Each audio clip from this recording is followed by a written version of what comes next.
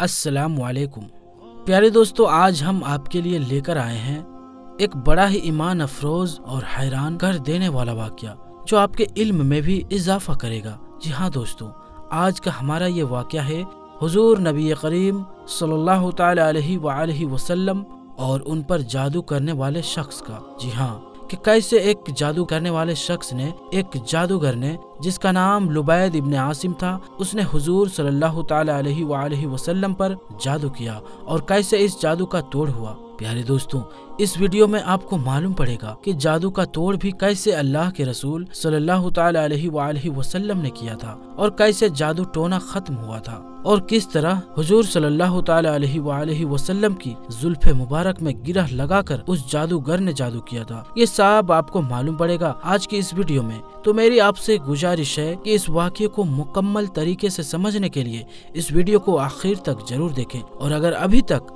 आपने हमारे चैनल को सब्सक्राइब नहीं किया है तो उसे अभी सब्सक्राइब कर दीजिए और पास में दिए गए बेल आइकन पर भी ज़रूर क्लिक कर दीजिएगा, ताकि हमारी वीडियोस की नोटिफिकेशन आप तक पहुँचती रहे। प्यारे दोस्तों, तखलीक कायनात से ही हक को बातिल की मार्का आराई चली आ रही है। ये इबलीस आदमो बनी आदम को बहकाने का काम और उसकी कोशिशें हमेशा से ही करता रहा है। चुनाचे हज़रत आदम सलाम के रुए ज़मीन पर कदम रखने के बाद हुक्म खुदा बंदी हुआ कि तुम्हारे पास मेरी तरफ़ से हिदायत आएगी।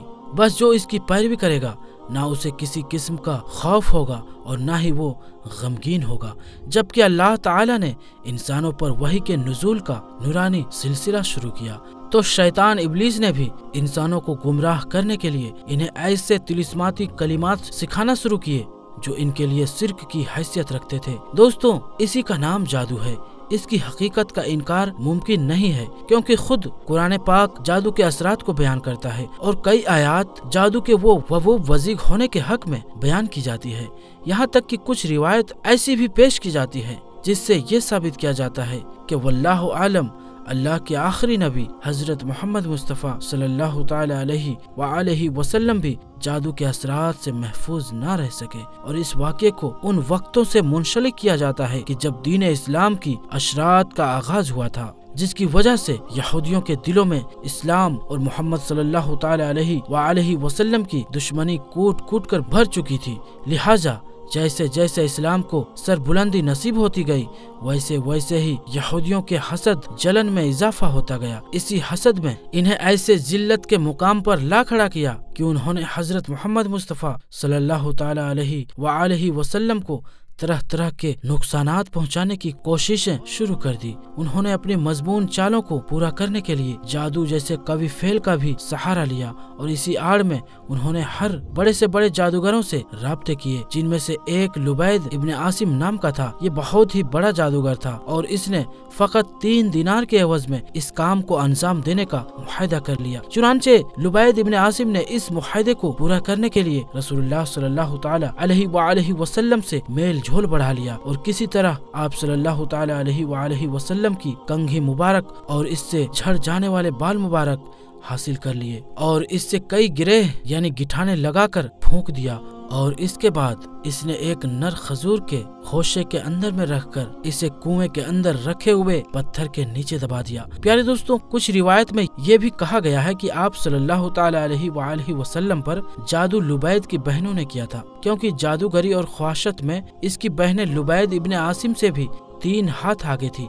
मजीद कहा जाता है कि लुबैद ने तो सिर्फ़ इतना काम किया था कि उसे ले जाकर कुएँ के नीचे पत्थर तले दफन कर दिया था। प्यारे दोस्तों एक ऐसी रिवायत उम्मुल मोमिनीन, हज़रत आयशा सिद्दीका रदी अल्लाह तहों के हवाले से भी बयान की जाती है। जो कुछ यूँ है कि बनु सदी के एक आदमी लुबैद इब्ने आसिम ने रसूलुल्लाह सल्लल्लाहु अलैहि वसल्लम पर जादू कर दिया था। ये जादू आप सल्लल्लाहु अलैहि वसल्लम पर इस तरह असरअंदाज हुआ कि आप भूल चूक का शिकार होने लगे। किसी काम के बारे में आप ख्याल फरमाते थे कि आपने वो काम कर लिया है। हालाँकि आपने वो काम नहीं किया होता था। दूसरी रिवायत में है कि आप सल्लल्लाहु अलैहि वसल्लम को यूँ महसूस होता कि आप अपने अजवाज मुतहरात के पास गए हुए हैं, हालाँकि आप इनके पास नहीं गए हुए होते थे। रिवायत में मिलता है कि जब इस तरह की हालात हो जाए तो ये सख्त किस्म का जादू होता है। इब्ने साद रदी अल्लाह कहते हैं कि इस वजह से आपकी बसारतें भी मुतासर हुई। एक और रिवायत में आता है कि आप शदीद बीमार हो गए और अपनी बीबियों के पास जाने से रुक गए। प्यारे दोस्तों इन रिवायत से मालूम होता है कि जादू रसूलुल्लाह सल्लल्लाहु अलैहि वसल्लम के मिजाज और जाहिरी अजा पर असरअंदाज हुआ था, यानी कि जाहिरी जिस्म पर, लेकिन आपके दिलो दिमाग और सोच समझ पर इसका कोई असर नहीं हुआ था। चुनाचे आप सल्लल्लाहु अलैहि वसल्लम बदस्तूर, वही और दावत तबलीग फरमाते रहे, लोगों की रहनुमाई फरमाते रहे। और कामयाबी के तरीके और सलीके सिखाते रहे। जबकि उम्मुल मोमिनीन हज़रत आयशा सिद्दीका रदी अल्लाह तहा फरमाती है कि आप छह माह तक जादू की तकलीफ़ झेलते रहे। आपको कमज़ोरी लाक होती चली जा रही थी, लेकिन ये मालूम नहीं हो रहा था कि तकलीफ़ क्या है। आखिरकार आप सल्लल्लाहु अलैहि वसल्लम ने अल्लाह ताला से तंदुरुस्ती की खूब दुआ की। हज़रत आयशा सिद्दीका रज़ी अल्लाह तहा मजीद फरमाती है कि एक दिन आप सल्लल्लाहु अलैहि वसल्लम मेरे पास तशरीफ़ लाए, अल्लाह से दुआ की और इसके बाद फिर दोबारा दुआ की और फिर फरमाया, आयशा, क्या तुम्हें मालूम है कि मैंने अल्लाह से जो बात पूछी थी तो अल्लाह ताला ने मुझे इसका क्या जवाब दिया है? मैंने अर्ज़ किया कि अय अलैहि वसल्लम, वो क्या बात है? आपने फरमाया कि मेरे पास दो आदमी आए, इनमें से एक मेरे सर के पास और दूसरा मेरे पैर के पास बैठ गया। मेरे साथ बैठने वाले दूसरा आदमी से पूछा गया, इन साहब को क्या शिकायत है? उसने कहा कि इन पर जादू किया गया है। असल में ये दो आदमी मिकाइल और जिब्राइल फरिश्ते थे। पूछा गया कि इन पर किसने जादू किया है तो दूसरे ने जवाब दिया कि लुबैद इब्ने आसिम ने। उन्होंने अपनी गुफ्तगु से सब कुछ बता दिया कि जादू वाला सामान जरवान कुएँ में पत्थर के नीचे दफन है। रसूलुल्लाह सल्लल्लाहु अलैहि वसल्लम चंद सहाबा को लेकर इस कुएँ पर तशरीफ़ लाए और आप सल्लल्लाहु अलैहि वसल्लम ने हज़रत अली करमुल्लाह वजहुल करीम को भेजा और उन्होंने कुएँ का पानी निकालने के बाद पत्थर उठाया। तो पत्थर के नीचे से नर खजूर के खोशे की थैली निकाली और इसमें रसूलुल्लाह सल्लल्लाहु अलैहि वसल्लम की कंघी और आपके सर के बाल मुबारक मौजूद थे। ने जिसने रसोल्ला सल्लल्लाहु अलैहि वसल्लम की सूरत का मोम का मुजस्मा भी था। इसमें ग्यारह सुइयाँ चुभी हुई थी। इस पर कमान की ताक भी थी और इसमें ग्यारह गिरेह लगी हुई थी। इसी मौके पर हज़रत जिब्राइल अलैहिस्सलाम रसूलुल्लाह सल्लल्लाहु अलैहि वसल्लम की खिदमत में सूरह फलक और सूर्य नास लेकर हाजिर हुए और कहा कि आप एक एक आयत पढ़ते जाएँ, चुनाचे आप रसूलुल्लाह सल्लल्लाहु अलैहि वसल्लम इन सूरतों की तिलावत करने लगे और साथ साथ गिरह भी खुलते रहे। आपकी हर आयत पर एक गिरह खुली और इस तरह ग्यारह आयतें मुकम्मल होने पर ग्यारह गिरह खुल गई। जब आप एक सुई निकालते हैं तो आपको तकलीफ़ महसूस होती है। फिर इसके बाद राहत मिल जाती है। इसी तरह आप सल्लल्लाहु अलैहि वसल्लम इसके बाद बिल्कुल तंदुरुस्त हो गए और यूँ उठ खड़े हुए कि जैसे कि आप जंजीरों की जकड़ बंदी से आज़ाद हो गए हों।